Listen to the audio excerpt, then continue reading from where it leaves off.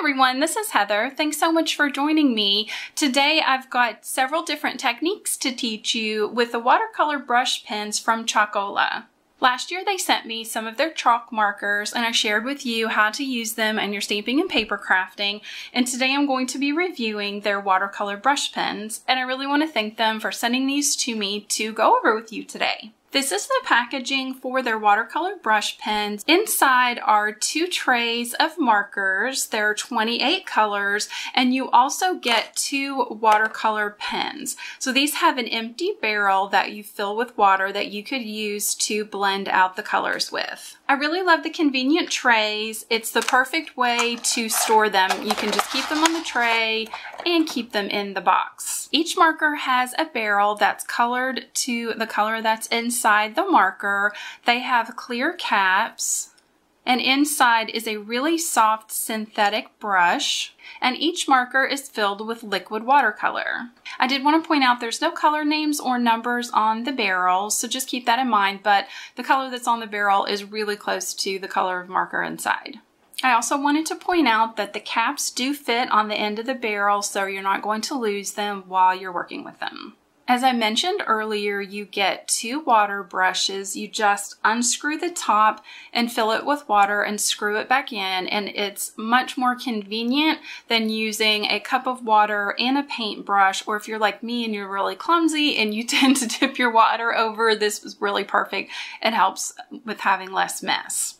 I really like that there are two different tips on the water brushes. There is a more pointy tapered tip that's pretty much exactly like the tips on the markers themselves. And there's also a flat bristle brush, and that's really good for backgrounds.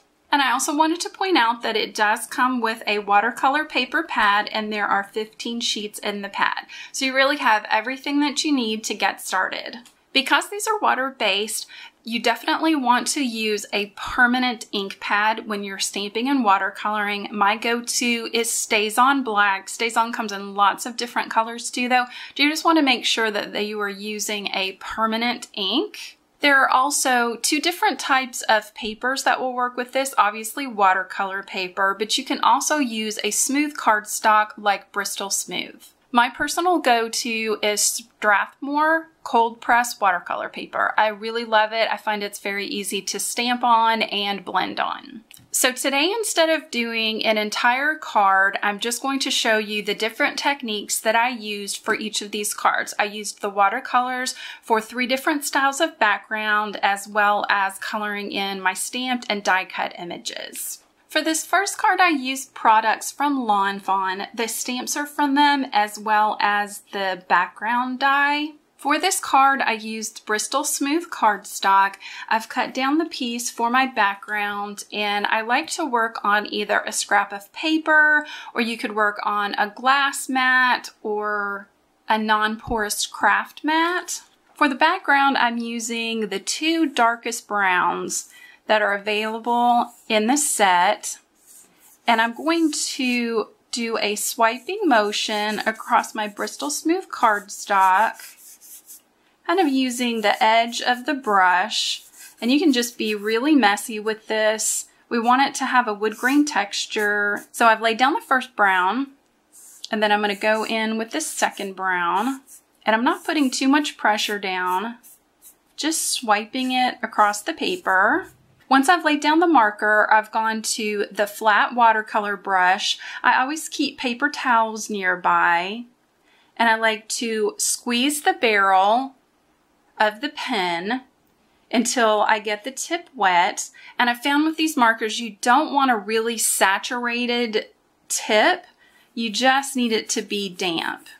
And all I'm going to do is just run that across the paper side to side in the same direction that I did those markers. If you feel like you need a little bit more water, you can just squeeze the brush a little bit as you're working your way down. Especially on Bristol, you don't want to put too much water on the paper. And that gives a really realistic wood grain look if you feel like you need a little bit more color in some spaces, even while it's wet, you can definitely go in and add some more marker and blend that out with your brush. You can just keep continuing to add color, but like I said, the Bristol Smooth cardstock is not going to be quite as forgiving as a watercolor paper. In between colors, you want to squeeze your brush off onto that paper towel just to make sure that you're not leaving any color on the bristles. You can let this naturally dry, or if you're impatient like me, you can use your embossing gun. I usually set it to low and you can speed up the drying process by heat drying it. Now that I've dried my panel, I'm going to place it over top of the Lawn Fawn wood grain background and run that through my die cutting machine. And now you can see I've got that cool wood grain texture for a really realistic wood panel. Next, I want to show you how I colored some of the images on this card. We're going to do the cute little hedgehog and the leaves. So for the leaves, I wanted a really saturated look so I'm going to color in every single section of the leaves. I'm going to start off with the orange and fill in different sections, just really loose, doesn't need to be perfect. Then I'm moving on to this sort of army green to just fill in a few different sections on each leaf. And then every other section that isn't colored in is going to be filled in with this vibrant red. Don't worry about overlapping colors because we're going to be blending them all in together in just a second. Now that I've got that color laid down, I'm going to the pointed bristle brush. I've squeezed out a little bit of water and tapped off the excess onto the paper towel. And now I'm just going to lightly blend all those colors in together. You don't want to get it too muddy. And if you find that you're picking up a little too much color in your brush, just go to your paper towel and wipe off that excess. And if you need to squeeze out more water, do it on your paper towel. And you're just going to blend all those colors in together. You just want like a really loose mottled look. And that gives you a bright saturation of color. I'm going to clean off my water brush. And I'm going back to the darkest brown that we used on the background I'm going to use a flicking motion and go all the way around the outside body of the hedgehog and take my water brush and just follow along those lines. Next I'm grabbing this really pale peach color and I'm just going to add the color where I would like it to be the darkest on the little body of my hedgehog. And then I'm going to take my water brush and just pull that color in towards the center. So this is more of a traditional look where you have some lighter and darker sections with the same color and you're just softening that color by pulling it out with the water. So here are two different ways that you can use these on Bristol Smooth. You can get a really deep saturated color or you can get a softer color by applying it in just some sections and blending that out with your water. Next, I'm moving on to this cute elephant card. I've watercolored him with the markers. I've watercolored paper and then die cut it. And then I've also used the watercolors for some fun splatter on the background. And this card is using the Strathmore cold press watercolor paper. So just like I did on the hedgehog, I'm going to add the color where I would like it to be darkest on the elephant. Then I'm going to take my water brush and pull that color out towards the center. And I found that I definitely get a smoother blend on the watercolor paper so I think I like watercolor paper just a little bit better for these pens. It's also a lot easier to build up and blend your color without your paper warping too much. So you can easily go in and just continue to add color, build it up, and blend it out as much as you would like. So for the body of the elephant, I used the gray, and then I'm using one of these bright pinks for the inside of his ears and on his little toenails and fingernails. And again, I'm just going to take that water brush and blend that color out. Next, I'm going to show you how I applied the color for the die cut leaves. I've got a smaller piece of watercolor paper and it's going to be very similar to what I did on the background of the first card And I'm taking this really bright green and covering it over the entire little piece of cardstock. Then I'm applying a slightly darker green and a few little swaths of this army green. I'm going to go back to my watercolor brush and blend this all together. But I don't want too many streaks, so I'm going to kind of apply a little bit more water and really blend that out and get a nice mottled watercolor look. And once this piece dries, I'm going to place my leaf dies over top and die cut those out. And here you can see I've got that really pretty mottled green look for my die cut leaves. And the last technique that I used on this card is a splatter technique. Also, I think I forgot to mention that the stamps are from My Favorite Things and these dies are from Stampin' Up. For the splatter technique, you just want some type of non-porous surface, a glass mat, one of your acrylic blocks. I've just got a lid from some Tupperware and I'm just going to color on my surface. I've got my spray bottle filled with water and I'm just going to give that a little bit of spritz. Then I'm going to use a large paintbrush and pick up that color. And then I'm going to tap my brush onto my watercolor paper.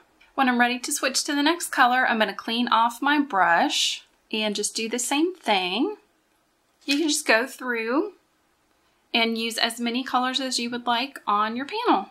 And moving on to the last card, I'm going to show you how I did this galaxy background and how I colored the dies after I had die cut them. And again, this card is on some watercolor paper. I'm going to bring my scratch piece of paper over. I've already die cut my tree and grass from the watercolor paper and I'm going to smear the color directly on where I would like it. Take my watercolor brush and smooth that out. I feel like this technique, as opposed to first coloring and then die cutting, definitely gives you a more saturated color. So I've just applied that kind of army green. And then I'm going to go back to one of these darkest browns. You definitely want to work on a scratch piece of paper or a porous surface just so that you're not getting ink all over everything. Then just go back and forth applying that color. And with your clean brush, just go over and spread all that color around. And I think for this Halloween scene, this deep saturated color is really cool and spooky. And lastly, I'm going to show you how I did my galaxy background. So it's very similar to how we've done some of the other backgrounds, but I'm working in sections with the color, just kind of blobs of color in different sections instead of going all over the entire panel. So I'm going to add some gray. Then in between some of these sections, I'm going to go in with this bright purple and it's okay if they overlap. And then this really deep dark blue, I'm going to go in and kind of fill in where there isn't any more color. And we're just going to go in with the water brush and really blend that in. So this technique, I added quite a bit of water to really get those sections to blend in together. If you feel like it's starting to get muddy, Go back to your paper towel and kind of clean off your bristles so you don't get one solid color. You want all three of those colors to really show through. Once my panel is dry, I wanted to add some cool splatters with some sparkle paint. So I'm using the Frost White All-Purpose Ink. I put a little bit on my lid with some water and same thing that we did with the other, you're just going to pick it up on a brush and get those nice cool splatters. The more paint you have, the bigger droplets you're going to get. And once this dries, you're going to have a really cool shimmery galaxy pattern. So I hope you've enjoyed taking a look at all the different techniques that you can do with the Chalkola water brush pens. They've been nice enough to give me a discount code. It is Heather10 and that will give you 10% off your purchase. If you like this video, please give it a thumbs up. Be sure to check out my channel and subscribe, and I hope you have a wonderful day. Bye!